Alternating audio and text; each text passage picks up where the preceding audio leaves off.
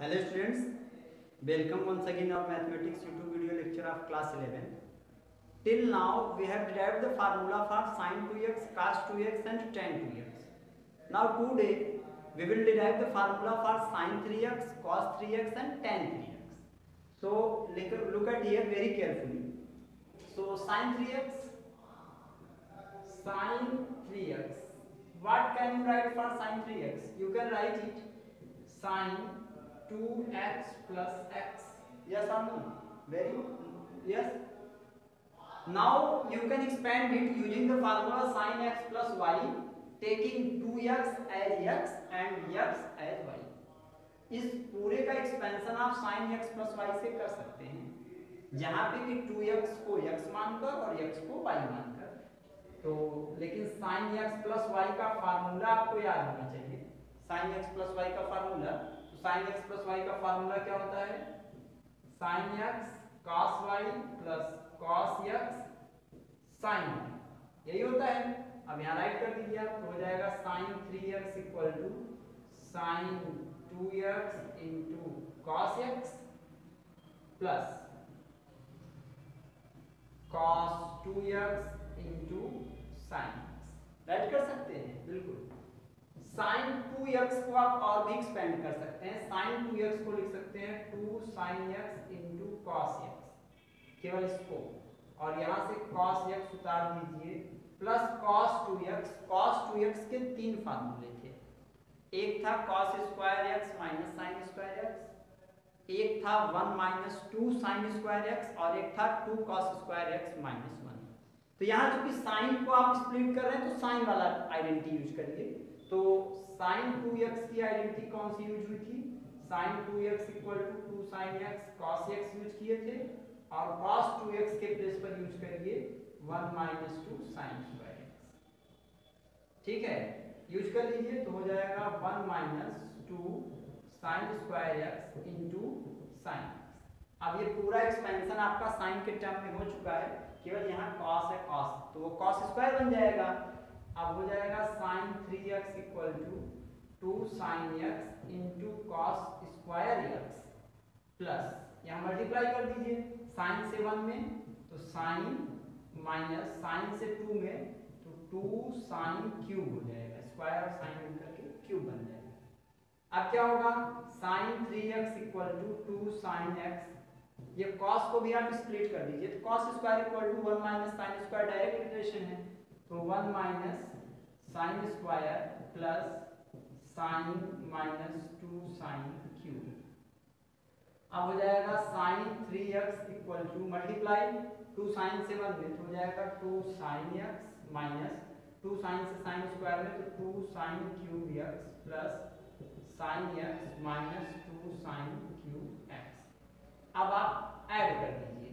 देखिए, two sine x और sine x यहाँ वन है। तो two plus one three sine x तो ये हो जाएगा three sine x sorry x minus two sine cube और टू साइन क्यूब माइनस में है तो जुड़ करके फोर तो फोर साइन क्यूब एक्स तो साइन थ्री एक्स का फार्मूला आपके लिए डिराइव हो चुका है.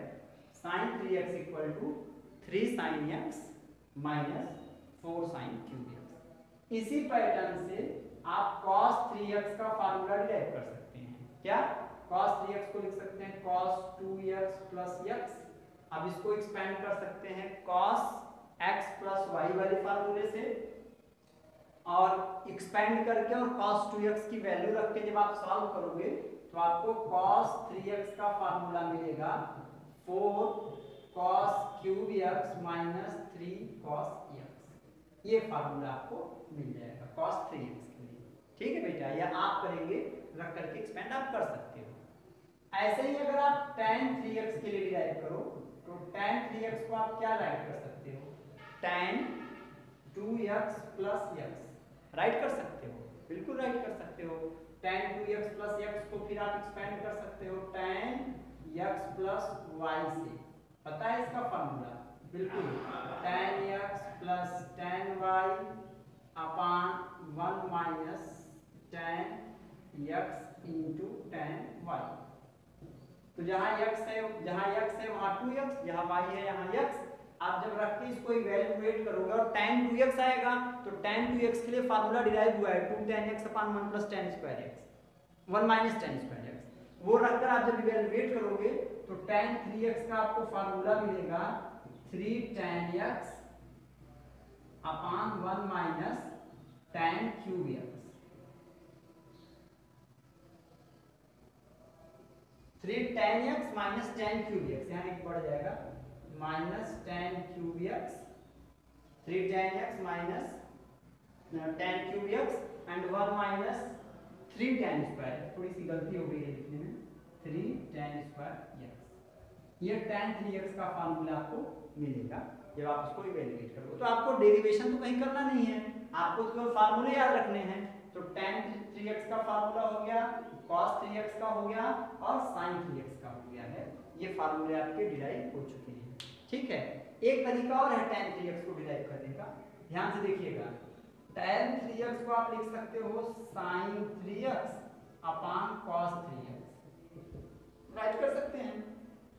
अब यहाँ पे sin 3x की value 3 sin x minus 4 sin cube x upon cos 3x की value 4 cos cube x minus three cos x.